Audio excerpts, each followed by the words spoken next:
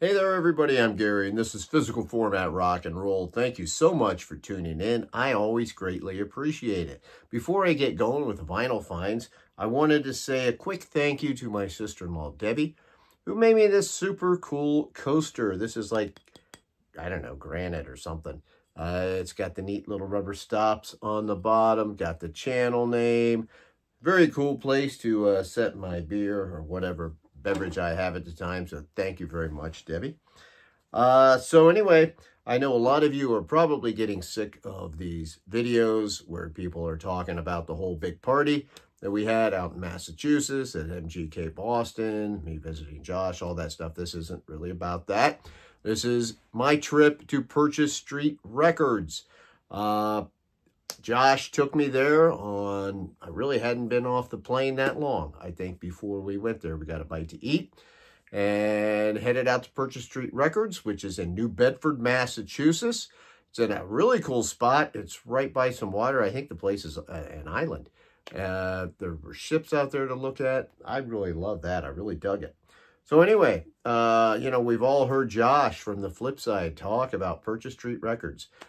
Finally got to go there. I met Roger, talked to him, very nice guy. Uh, it's got a really cool store there. Uh, big selection, especially if you're into heavy metal. Got a huge selection of heavy metal. But he's got some new wave, got some punk, uh, you know, a little bit of a little bit of blues mixed in there, some soundtracks, different things. Anyway, like I said, met him, really cool guy. Uh, gave me the shirt, as you've probably seen some of the other vinyl community members with this cool looking shirt. Got the giant shark. It says Purchase Street Records. I'm scared to death of sharks, but uh, I love the shirt. I think it's very badass looking. Uh, get this. Class it up when I am drinking cheap beer, which I happen to be doing right now. Cheers, vinyl community. So, I'd already talked to Roger for a little bit now we're going back. We're looking at records. I'm picking out some stuff, right? Uh, I go up there. I've, I've got my little stack of records. We actually went to Purchase Street Records twice. I went there. Once Jeff Witcher came, we went back again. And I picked up a couple things. But anyway, I, I, I go there and I saw this on the counter. This is the band that Roger has called All Sinners. This is their live album that, as you can see, they recorded at the Whisky A Go Go down in Hollywood, out in Hollywood, not down in Hollywood, out in Hollywood. They were opening up for LA Guns. This was on New Year's Eve. I hadn't seen this yet. I remember Josh talking about it. I assumed they, they were all gone. So I walk up to the counter and there's this sitting there and I'm like, oh. I said, I didn't know you had that. I want to get that album. So I go, well, I'm going to go put one of these back. And he's like, what? And he's like, no, just go ahead, bring it up. He said, you can have the album. It's yours. I'm like, what? You know, I said, you don't have to do that, man. I'll, you know, I was going to put something back because, you know, if you've seen Alex at Beer and Vinyl imitate me, I'm cheap, right? So uh, anyway, he said I could just have this album. And I guess he gave it to a few other vinyl community members too. So how cool was that? Uh, I like this album. I like it because it sounds live. It is. It's just like, you know, there's no touch-ups on it or anything. I don't want it to sound just like the studio uh, version because I've got the CD and it has most of these songs uh, on there. There's uh, a couple of them that are different that are not on the album, that are just on this live album. And they, you know, they sound live. I don't want it to sound just like the studio record. There's no sense of having a live album if that's the way it is. So I've already played this record twice, actually, and uh, I dig it. So thank you, Roger. Very cool. Check out his band, All Sinners. Next up, uh, I, I, did grab one CD. He actually had a really big CD collection too, which was really cool. And, you know, I could have spent more time doing that. I only picked up one. I got Tori Amos, Strange Little Girls. See, it's not all heavy metal that he has. He's got other stuff. I didn't have this one, so this was, you know, really cheap. His his CDs were on sale. I, I should have probably gotten more. Anyway, next up from the $2 bin, how about this? The Iron Man the musical by Pete Townshend. Now, I had this on cassette, and, uh, you know, this is kind of hit and miss, but this was two bucks. So, I, you know, I'm like, I, I got to pick this up. The jacket's in good shape. Uh, the record, I just need to give it a little love. I got to clean it up a little bit, but it, it's fine. Uh, it, it'll be in perfect shape. Now this, an interesting thing on here, which I would have, you know, well, The Who are on a song on that. Obviously not the full Who, uh, no Keith Moon. But uh, they they they sing two songs, and the rest are various people. Pete sings some, Nina Simone's on here, other people.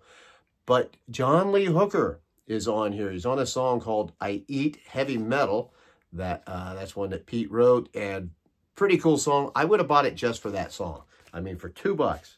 Now, here's something I wouldn't normally do. Uh, so I picked up, these are both $2 records. I picked these up. They don't have the jacket. They just have the sleeves. It's uh, a Queen Greatest Hits. It's like their official one. This is a double record set. So this cost me $4 for both both of them. Let me show you real quick um, what that looks like. That's like brand new, right? I, you know, I, am like, well, I wasn't looking for, you know, a Queen Greatest Hits. I've got uh, probably most of this stuff, but this is a, a nice little collection. This would be perfect, like if I'm listening with my wife. We want to listen to some Queen. Uh, and this is, you know, is 180 gram. It's in great shape.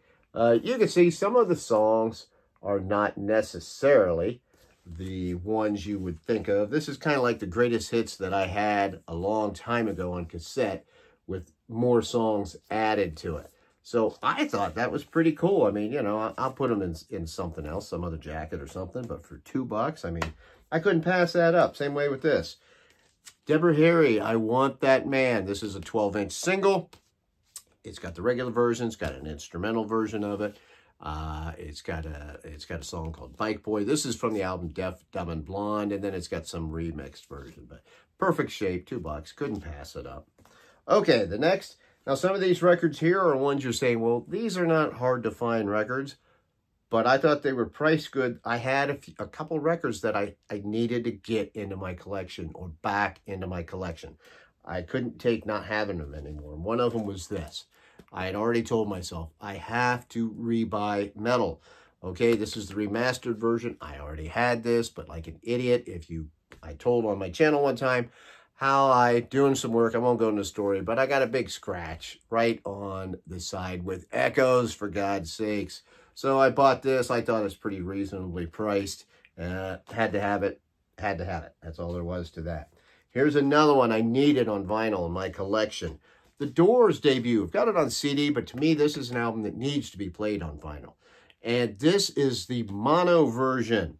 So I thought, well, that's that just doubles it up. And this was on sale. Okay, this thing was probably about half uh, of what you would normally expect to pay for this record. So, yeah, I wasn't really looking for it, but yet I, when I saw it, I had to have it. That's got to be in my collection. I keep forgetting to get that back in. Same way with this next one.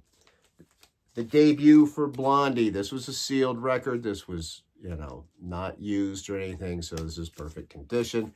There's the back of it. Uh, I was watching Mike, PC31, the Vinyl Policeman. He had recently got this album, and he was talking about how he's kind of disappointed because he expected it to be a little more raw, a little more punk since it was their debut. I knew for the most part that it wasn't. I kind of, you know, I'm familiar with pretty much all the songs on here. This is the only one on vinyl that I didn't have out, out of that original group of uh, the Blondie records.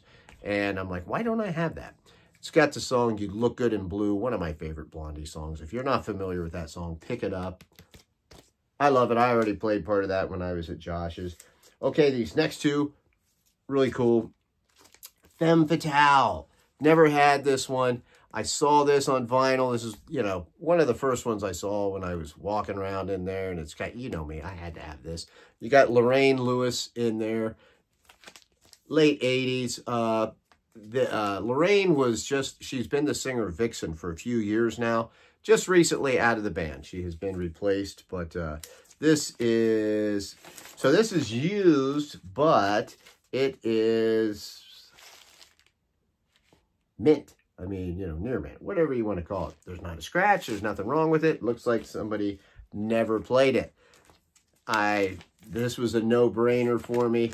I was very happy to find that because uh, I rarely ever do. And you know what? I have found it before like a used copy, and it wasn't in this as good a shape, and it was priced the same as this was now, and this is mint. My final one here to show you one of my favorite live albums of all time, All the World's a Stage by Rush. Love this one. Uh, finally got this on vinyl.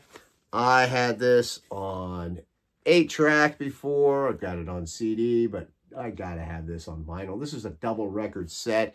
This is just Rush kicking ass. They're touring off their first four albums, uh, and uh, 2112 is, is the tour that they're doing. They're up in Canada when they do this. I had actually found a used copy of this one time. Uh, I looked at the one record. I'm like, yeah, it was okay shape. So took it home. The second record was not in there. Both are in here.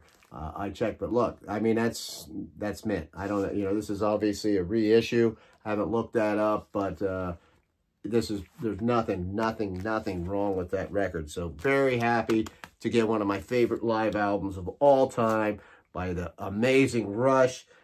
Thank you, Roger. Thank you, Josh, for taking me. Thank you, everybody, for watching. Uh, super happy. Definitely check out Purchase Street Records in New Bedford, Massachusetts by the water. So until the next time, folks, me and the All Sinners will see you down the road.